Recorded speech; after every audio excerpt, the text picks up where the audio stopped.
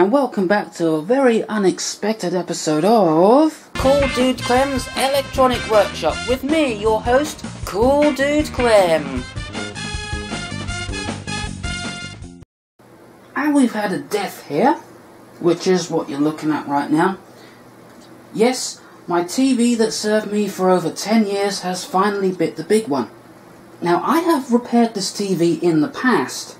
There was one time it was acting up and I replaced a couple of capacitors in the power supply and that brought it right back, but yeah, I don't really think it's worth fixing this time. Now, I think in one of my previous YouTube videos I said that if this TV ever goes wrong again, what I'm going to do is I'm going to take the internals out and I'm going to replace the LCD driver board with a better one, which will hopefully get rid of those overscan problems when I'm running Linux and other things like that. Well, I took this TV apart, piece by piece, found the model number of the LCD panel, and despite all the options on the internet, I could not find a panel driver that was compatible with this particular screen. So that's kind of not an option anymore. I mean, it's probably just a simple power supply issue, but I've got another idea. The old TV from downstairs. Now, this is the TV we used to have in the living room, and this has also got problems now. The backlight doesn't work, but I think that'll be a simple thing to fix. And even if I cannot get that working, I might even try to Frankenstein the two TVs together and cobble together a working set. So I'm just having to use my touchscreen monitor for now until I can get my TV fixed. But it all works, including the touchscreen stuff. Um, let's just play a random video here. Okay, let's try that one. This is on Linux, by the way. Hi guys, as you can see, Das Volkswagen is back. Speaking of Linux, look at this. No overscan problem with this screen. So anyway, let's get back to our main attraction. So here it is on the bed. Face down. And I'm having to do this on the bed because this is far too big for the workbench. But if I get this TV working again, I think it's going to be a pretty nice TV to have. Got all the standard inputs here on the back. Three HDMIs, so I'll be able to plug my camcorder, my computer, and my Wii U into this without having to remove and reinsert HDMIs. And this even has USB on it. Now, I'm not sure exactly what the USB is for. I think you can put... I think that might be able to play media off USB sticks, but I'm not entirely sure about that one. Anyway, I'm going to try and get this apart, and we'll take a look inside. Right, well, here we are inside the TV. I didn't know if this was going to be CCFL backlit or LED backlit, but I think this is a pretty good indication that this is LED backlit. And if it's just a simple power supply issue, where it's not supplying power to the LEDs, well, that's going to be a really easy thing to fix. I'm a little concerned about these voltages though, because if you notice one of them says it gives out 280 volts. Now, I don't know what could be using 280 volts, but I'm guessing that is the LED panel, but this wire seems to be awfully small for handling 280 volts, but we'll see. Okay, so I'm about to test to see whether there's anything coming out of the LCD power jack. So I've got my meter connected to the power jack. Hopefully the probes won't come out. I've had to make some kind of makeshift probe there. Just stick a couple of wires in. Hopefully they will make good contact and not come out. And as they say, the first rule of checking electronics is thou shalt check voltages, so that's what I'm going to do. Alright, so I'm going to plug this into the mains. I don't know if we'll get any response out of it initially, but...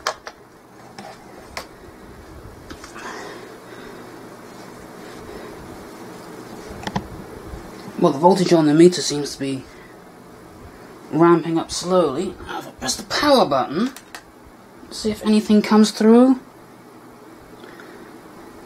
Well, it's definitely doing something. So about 14 volts and then it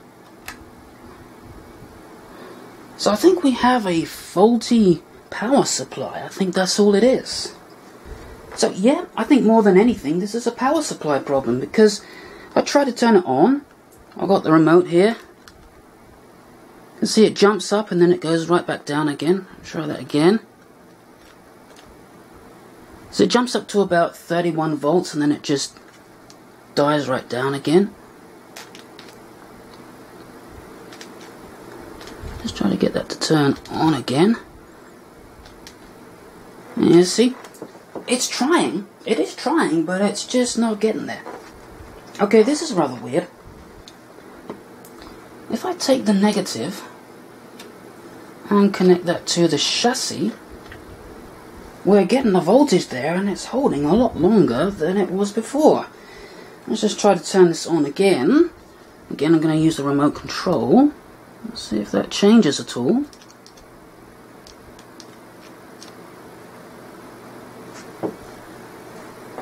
See that went up to about 200 and, about 220 volts and then it just died off again. So it is definitely trying to put the light on, but it is just not succeeding at it. So I think the first thing to do is replace this capacitor here and see if that makes any difference because it could just be something simple like a capacitor that's aged badly. I mean, it's not showing any signs of bulging anywhere, but that doesn't mean it hasn't gone bad. So I'll replace that, see if that brings the LED panel back to life, and if it doesn't, I'll try something else. Okay, well I've replaced that capacitor now. Couldn't find an exact replacement. The original was a 33 microfarad rated for 350 volt. The closest I have is a 22 microfarad. Well, here goes nothing.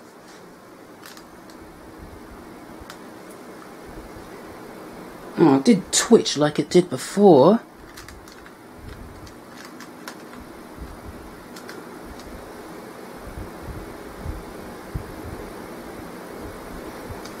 No, I don't think this is going to work. So I think what I'm going to have to do is make my own backlight driver. Right, well, as they say, desperate times call for desperate measures. So what I've got here is an external power supply for the backlight that I've rigged up. So first we've got this choke here to limit the current. Then I've made an isolation transformer by putting these two transformers back to back. And on the end of this one, there is the rectifier. And a capacitor, yes, it's that capacitor that I assumed was bad. And this is going directly to the LCD backlights, which I have unplugged from the power supply board. Because I'm not sure if it's the power supply or the LCD board itself, because the thing is, if one of those LCDs has gone open and they're all connecting in series, that's more than likely going to make the power supply shut itself off because it thinks something's wrong. So if I plug this in, this is our backlight. I don't know if it's... I don't know what voltage we have. I'm not seeing any sign of the screen lighting up. I know I haven't plugged the TV in yet, but should really put my multimeter across there and see what voltage we're getting which I forgot to do, which is what I'm doing now. And I shall plug the TV in and see if we get anything looks like a sign of life.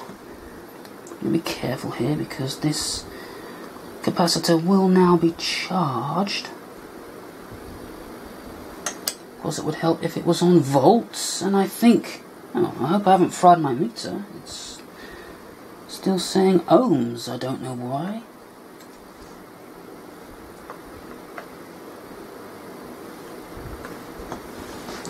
Okay, saying 3.6 volts. That doesn't seem right.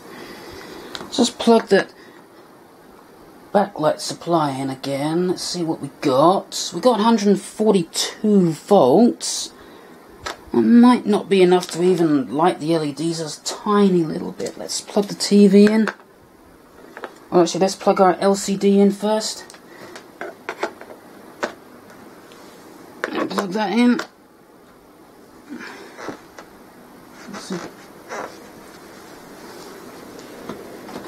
So there's any sign of life?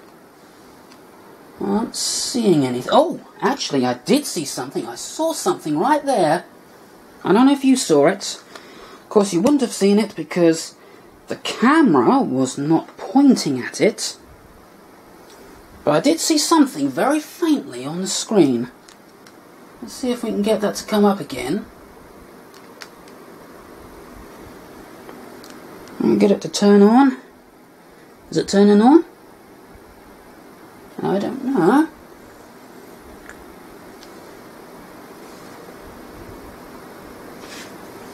I can saw something appear right there, but uh,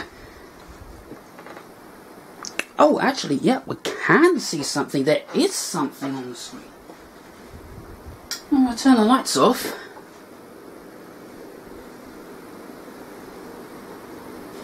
No, I think maybe that was just a reflection of the light, but there is definitely a picture there.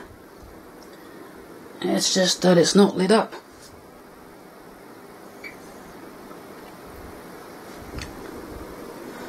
But if I move my head just about right, I can actually make out a picture. Well, well, there was a picture there just a minute, just a second ago, and as I started talking, it disappeared. But there, I did see text on this screen. Alright, I've moved this to another tap on the transformer, so we should get a much higher voltage. So I'm going to plug that in. Okay, we've got 279 volts. So if that's not enough to make the backlight light up, so that doesn't make the backlight light up, then we'll know there's a problem with the backlight. Okay, 280 volts going into the backlight. Again, there's no light, but I can see I can see text on this screen. I can actually I can see that and I can actually read that. It says video signal cable is not connected. Try another available input. Well, we know it's outputting a picture, so that's good. It just seems to be the backlight. So I reckon what the problem is, is one of the LEDs in the backlight has gone open and that's why it's not working. So we got to delve deeper into this TV and try to fix that backlight. Okay, well I made a bit more progress taking the TV apart. So this is the front of the TV with the bezel and the screen removed. Got the bezel over here by the laptop and the screen right here. I've got to be very careful with this because it is glass so I don't really want to break it. Make sure I didn't damage any of the connectors. I mean, connectors. I tried to say connectors and connections at the same time. So, all we're left with on this side is the backlight. Still got the circuitry on there. And the diffusers. And over here on the chair, there's all the other bits I had to take out in order to get this thing apart. Okay, well I thought I'd do an experiment looking through one of these diffuser sheets just to see how everything looks. Gotta tell you, looks pretty freaky through this thing. I don't know how I look through this, but it's, actually it's a little bit difficult to make out what's going on. I can see some vague shapes, but everything's all blurry and uh, just pretty much a mess of colours. Don't know how this looks the other way around. Or if it looks any different the other... Oh, wow. Holy cow, it does look different the other way around. It's like stoner vision. Never actually been stoned, but I imagine it looks something like this. If I look down, everything is, well, it looks as if I'm looking straight ahead, but everything is distorted and rainbow coloured. If I look straight ahead, there's this sort of dark band, sort of right at eye level. If I look up, it's as if I'm looking straight ahead again, but again it's all distorted and rainbow coloured. In fact, if I if I flex this, it gets even more distorted. It kind of almost looks like it's underwater. So it's like it's splitting the image into two. So I've got one above me and one below me. Check this out. I've got this um, I'm holding this up against some of those schematics I've drawn on the wall. If I pull this away from the wall, check this out. Everything separates into two. See that? Um, this is as flush up to the wall as I can get it, and as I pull it away, see the images separate? Well, I'm trying to give you a look through this, through the camera, but it's not really working too good. It isn't this blurry um, in real life, but the camera just seems to have a real trouble seeing it. See, there's the room again. This is with the camera looking down. There's the dark band, and the camera further up. You see the room again, so it's like it splits the image into two. And we've got one up here, and one down there. Okay, so I'm not entirely sure how these diffusers work, but my guess would be that they're covered in thousands, maybe millions of little tiny prisms, and they split up the light and do all the freaky things with it. Because if I run my finger along this, try not to scratch it, but